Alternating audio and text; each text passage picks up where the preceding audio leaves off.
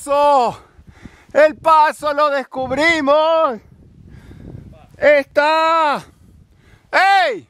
Si hay un sendero, alguien ya lo descubrió, me parece. Es un sendero de monstruos. No, acá nunca un ser humano pasó. Ni siquiera esos indios. ¡Esos indios! ¡Malditos!